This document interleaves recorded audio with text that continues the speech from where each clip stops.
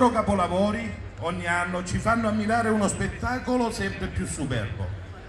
Grazie alle ditte dei fuochi pirotecnici e alle bande musicali. Grazie all'Associazione Volontariato Santa Domenica ed in, particola- in particolar modo al Presidente Salvatore De Luca e a tutti i volontari per il lavoro svolto.